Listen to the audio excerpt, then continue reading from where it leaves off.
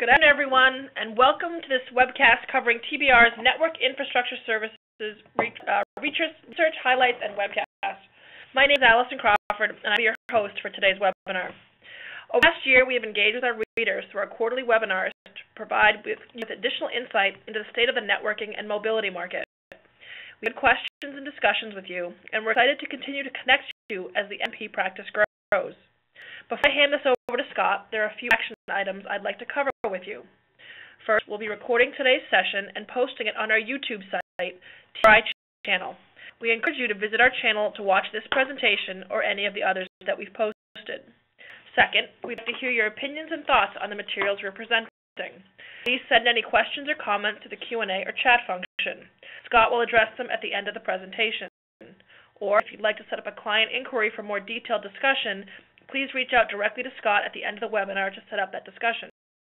Send out the slides to everyone registered for today's webinar within 24 hours of the conclusion of the presentation. You can also find these slides as well as other thought leadership pieces, other webinar decks, and commentaries on SlideShare at www.slideshare.net backslash tbr underscore market underscore insight. Now let me introduce Scott Dennehy, Senior Analyst on the Networking and Mobility team here at TBR. He's been working in the network infrastructure services space for the past 15 years and is leading research coverage at NIS. Since TBR in 2010, Scott's insight has helped our clients improve their strategic go-to-market plans and market position. And with that, let me hand this over to Scott. Allison, and, and welcome everybody. Uh, very interesting uh, last six months or so in the networking space, um, particularly in, in, the services area. Uh, a lot of different uh, themes and, and, market trends uh, out there, but I'd like to really focus on three key ones um, that are going to really be permeated throughout the discussion that we have today. Uh, how they impact not only supply results for the, the third quarter, but how they're going to impact supplier results and, and, their strategies moving forward.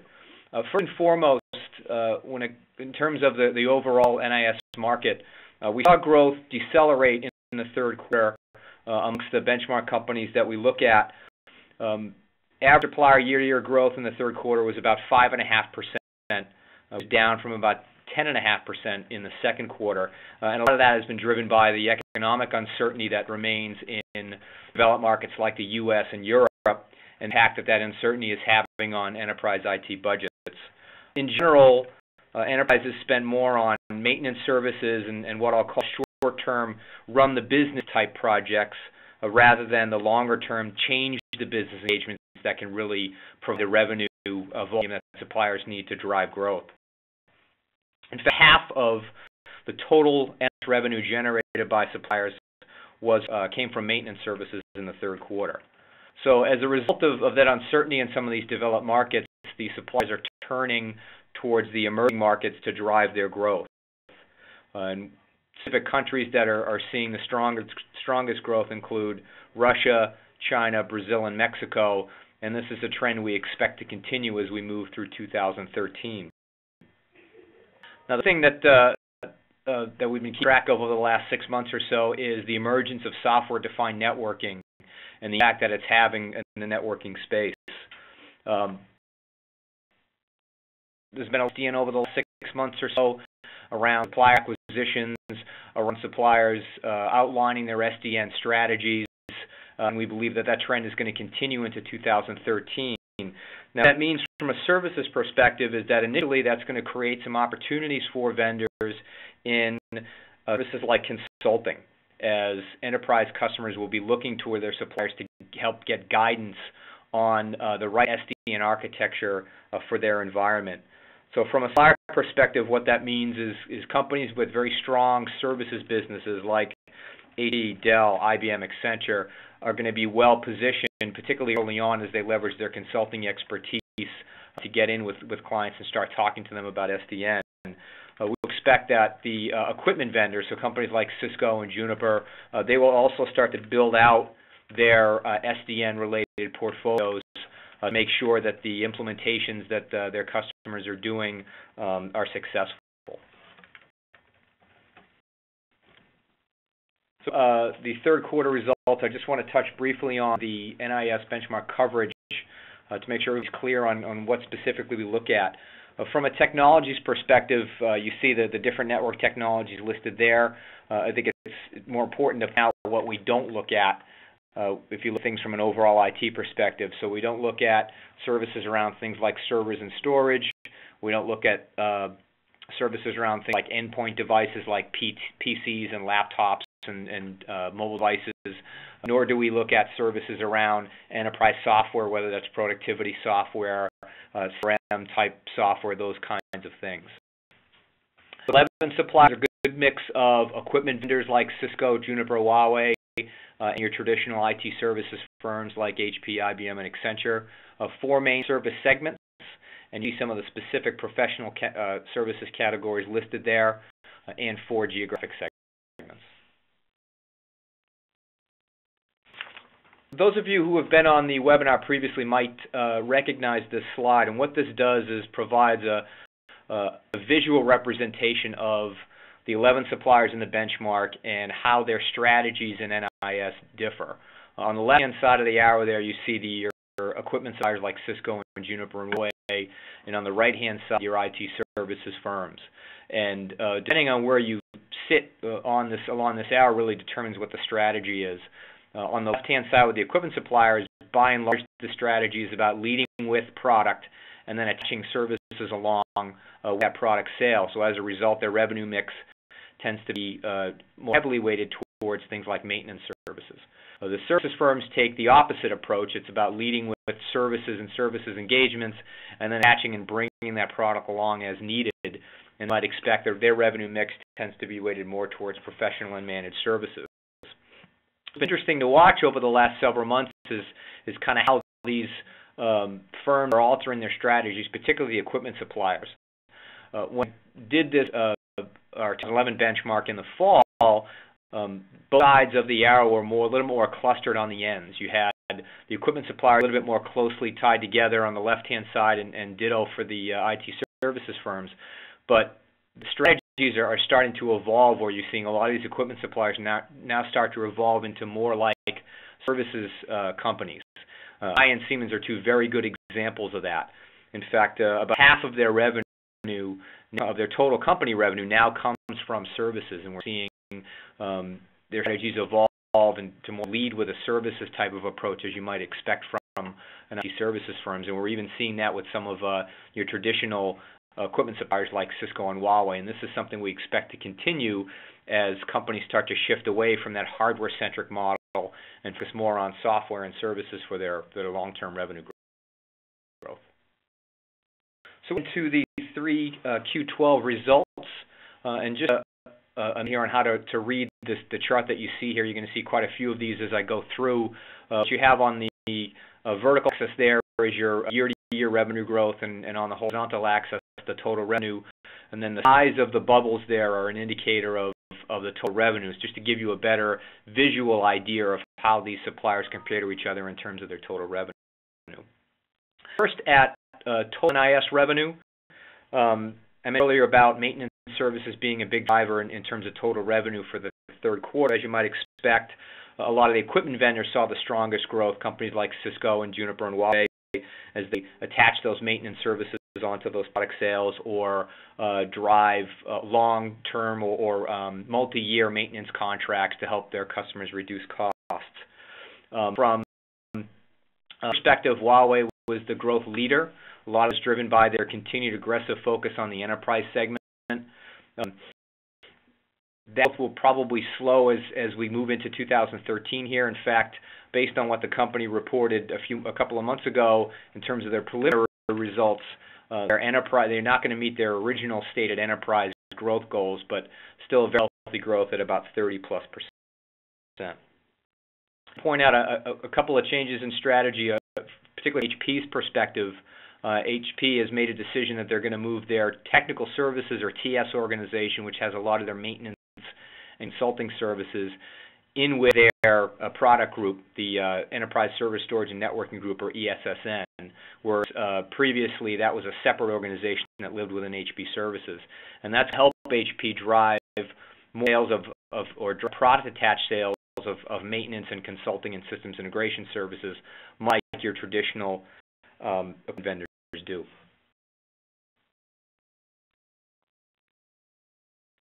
Moving margin, uh, based on the, the uh, performance of equipment suppliers and specifically around maintenance services, um, as you might expect, they had some of the best margins of all the suppliers uh, as those maintenance um, services, particularly from um, the standpoint of companies like Cisco and Juniper, carry very high margins along with them.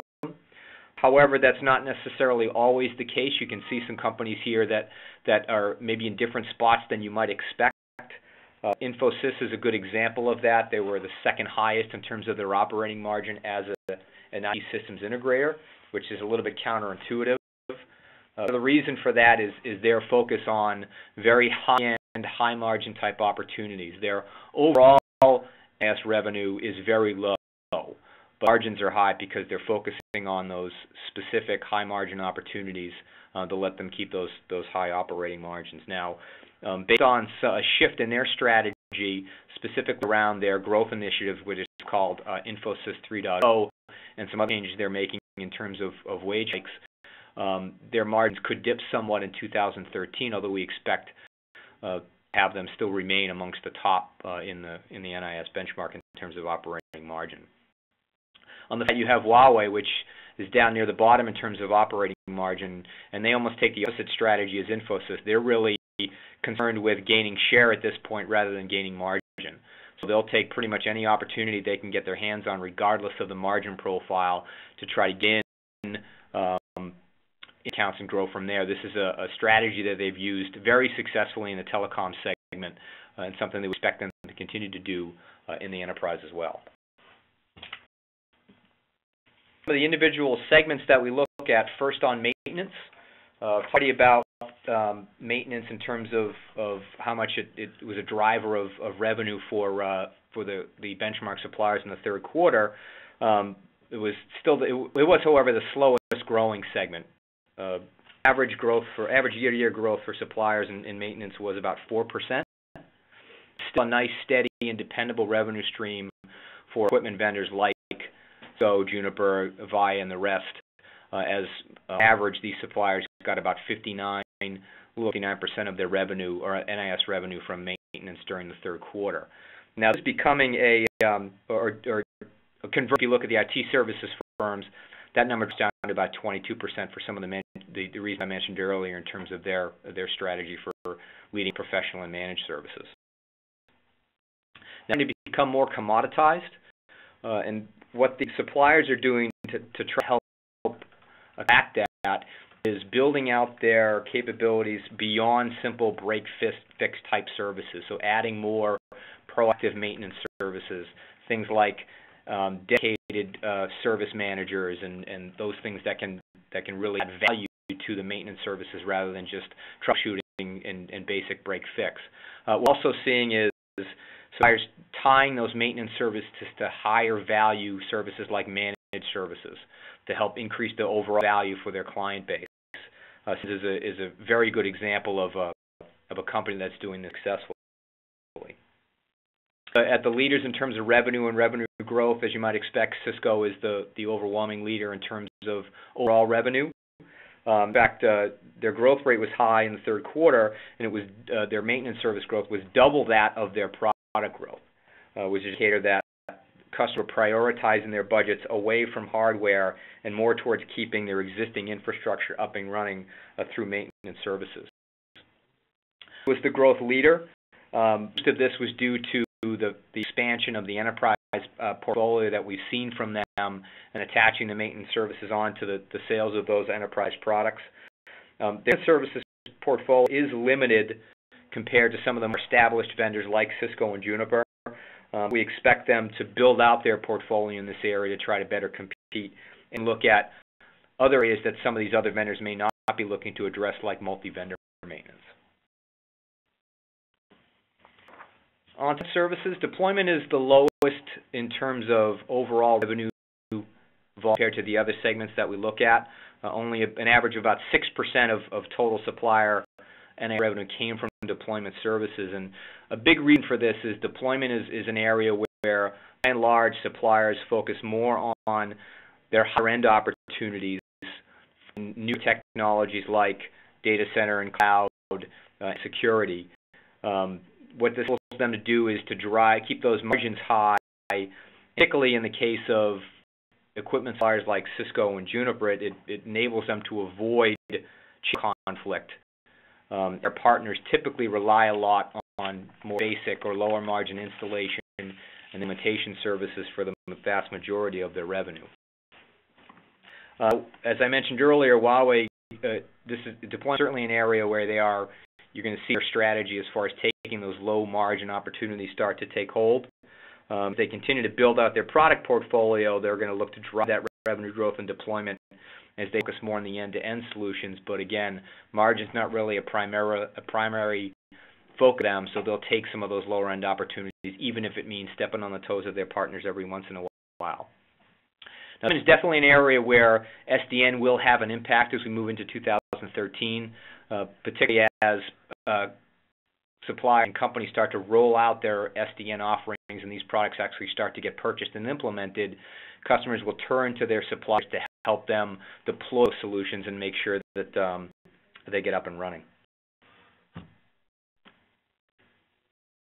Moving services, uh, what we saw in the third quarter for professional services is demand uh, to develop markets was, was centered more on things like cost reduction and operational efficiency. So again, talked about earlier, those kind of changed the business type engagements, longer term engagements. We really didn't see a lot of those in the third quarter as customers were more interested in keeping their costs low and trying to, to gain efficiencies to help drive those costs down. That's a lot of the revenue in, in uh, professional services came from in the third quarter. We expect that to remain the case for at least the, the next couple of quarters uh, until the singing environment, particularly in places like the U.S. and Europe, starts to get a little bit better. Long term, uh, is going to come from those consulting and systems integration services that enable these enterprises to implement some of these more uh, emerging technologies like uh, cloud, mobility. and again, SDN, definitely one of those um, tech that is going to drive long-term growth uh, in professional services. Now, some of the specific vendors, um, no surprise that you see Accenture there in terms of their overall uh, revenue lead. Cisco actually closed the gap a little bit in in the third quarter. A lot of based on the fact that um, just based on the sheer volume of revenue that they do in NIS. Only about 20% of their total NIS revenue comes from professional services, but because that big number is so high, they're seeing that number two spot. And the, the growth here in, in professional services for some of the same reasons we talked about, taking those low-end opportunities to establish its its um, presence in some of these enterprise accounts, and then building out those higher value offerings from there to grow revenue and margins. Managed services. So managed services was the highest growing segment of the four that we look at in NIS from a, a, a supply average, a little over 10% year-to-year growth amongst the suppliers, uh, primarily by enterprises investing in out managed services to help them reduce costs and the growing network complexity. There's much more uh, from enterprise customers in turning keys to a vendor that can manage uh, their network infrastructure, um, not only providing those cost benefits, but again, just simplifying things for them so they don't have to deal with this increasing network complexity with all these new technologies and all these new uh, vendors that are being implemented.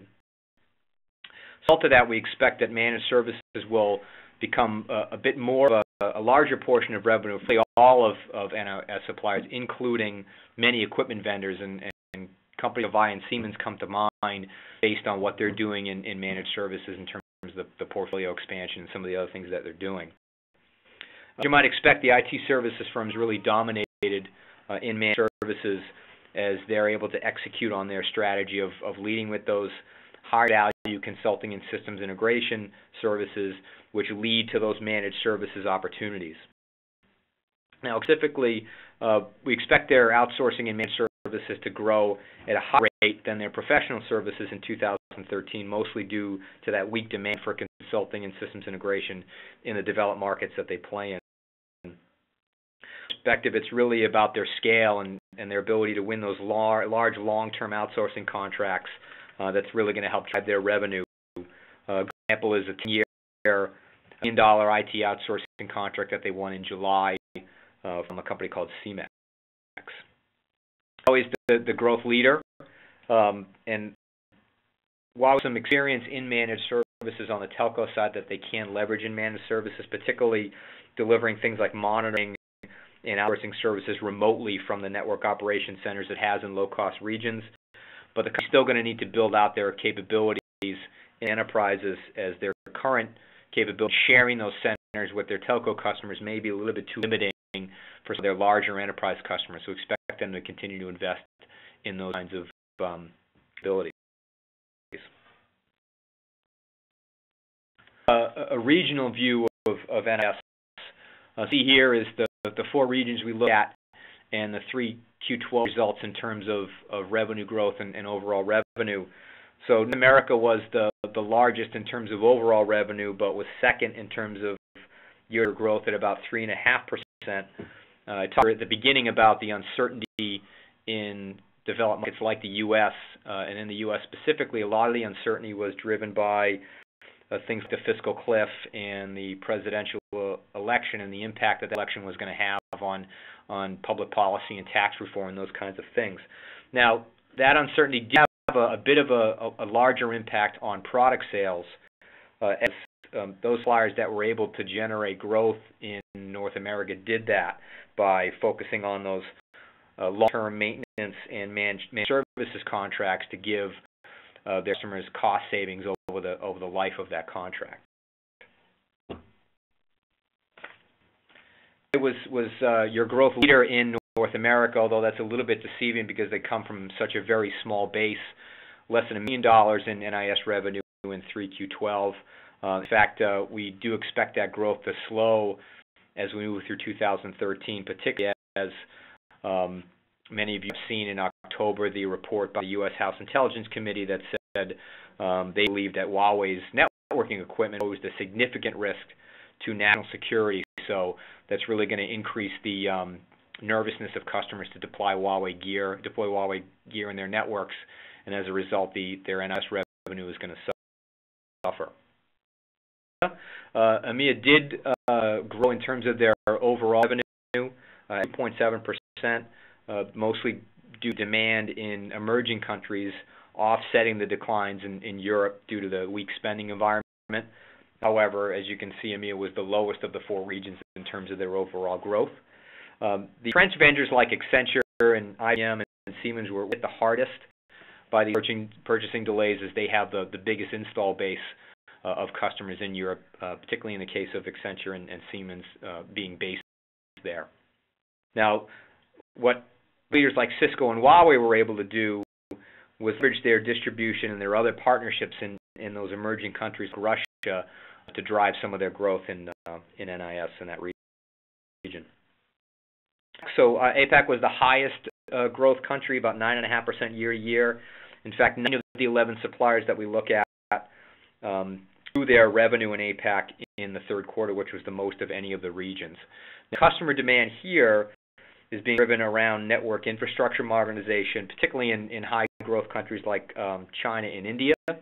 And this is a trend that we expect to continue as we move through 2013.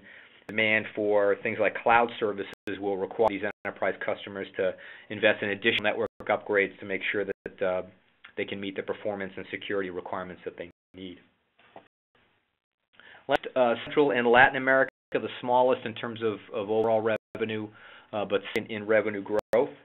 And I mentioned at the beginning that um, the shift in our strategy or the shift from developed markets to emerging markets and, and Central and Latin America is a really good example of that, as particularly as the, the environment in North, North America remains unpredictable, seeing some start to move and invest in Central and Latin America. Uh, companies like Brazil and Mexico and Peru uh, to try to drive some of the NIS revenue growth while the spending environment uh, just north remains a little bit weak. And uh, that are best positioned here are companies like IBM and HP that leverage their scale and their need uh, to expand into some of these high growth markets. So now that I've covered uh, the results and the market trends for the, third quarter 12 in, network infrastructure services, I just want to end by highlighting the ongoing coverage that TBR has in the space and, and specifically our, quarterly syndicated NIS benchmark. Um, what uh, the NIS benchmark is designed to do, much like uh, a lot of other uh, TBR benchmarks, is to provide that comprehensive view of the market, both from a, a current and historical um, perspective, which enables our customers to make more informed decisions around things like services strategies and tactics and, and growing their market share. And we do identify identifying the leaders and strategies, growth opportunities in IS um, that could help uh, our customers uh, again gain that share and, and, hold off their competitors. Now, perspective, as I mentioned at the beginning, we cover 11 suppliers in four services segments and four geographies. Uh, we highlight things like quarterly revenue, growth, margins, town, and geographic data, uh, as well as analyze the top suppliers in each service category and region, and provide that, that necessary insight into vendor strategies and, and some of the market trends that, uh, like we talked about here today. So, Allison, for questions. Great. Uh, thanks, Scott. We've got a couple questions that have come in so far. I'd like to encourage anyone out there, if you have any questions, uh, send them through now. Uh, the first question we got, Scott, do you foresee any equipment vendors making a services acquisition to expand into professional and managed services? Uh,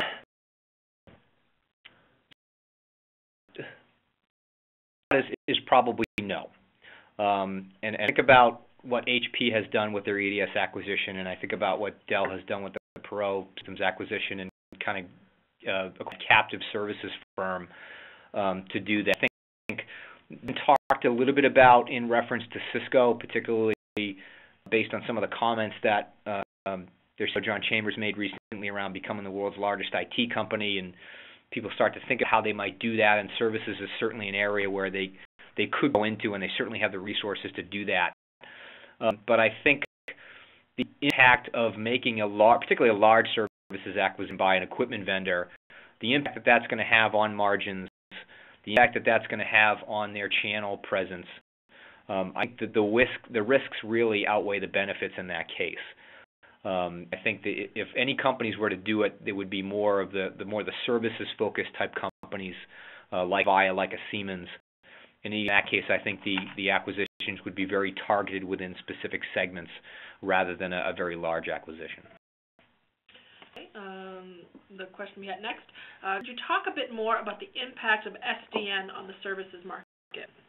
Um, so, about at the beginning, I think initially uh, there's we still got a, a while, a ways to go here before you actually start to see rev generate a lot of revenue generated with SDN, and and even companies like Cisco and Juniper, they're really just rolling out their strategies and and really not going to start to see product in uh, a company significant way until later this year. Uh, and I expect the the the services adoption curve to kind of be very similar to what you see in other emerging technologies, kind of that, big bell curve where you have the phases around and proof of concept, and then gradually as, as customers start to go into that deployment phase, that's really where a lot of the revenue is going to come from as a lot of the solutions get implemented and designed. And then on the end of that is, is when you start to move from the deployment phase into the maintenance and, and the management phase.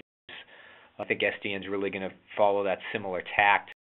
Um, and earlier that we expect to see some suppliers start to roll out SDN specific services, and we've already had a little bit HP uh, interop in October of just a few uh, SDN specific services, proof of concept being one of them, and have kind of laid out a roadmap um, for future services in the areas of, of things like consulting, implementation, and maintenance. So we expect, as I mentioned, a lot of the other suppliers to follow suit. Um, and I think the suppliers that are going to be the most successful are the ones that are able to roll out those services and, and get in early some of these customers from a consulting standpoint and start to grow into into the, the areas of deployment and managed and maintenance services uh, as adoption curve really starts to ramp up. Okay, looks like questions in queue, uh, so we'll talk real slow in case someone does one on one send it through. Uh, in the meantime, I want to thank you, Scott, for your time, and thanks everyone for joining us today and sending across your questions. Um, you can follow both Scott and TBR on the Twitter handles listed here. And check out our SlideShare and YouTube pages that are also listed. And we'd like to encourage you to join our LinkedIn group uh, for more information about the things that TBR is working on. Before I sign off, I'd like to request that you take a brief survey about today's webinar. We'd like to get your feedback in terms of the quality of the content as well as the presenter, which we'll be using to improve our presentations quarter to quarter. I'm going to leave the chat function open for another few minutes in case there's any last minute questions or comments. If we don't hear from you guys, we look forward to seeing you guys all again next quarter. Have a great night, everyone. Thank you.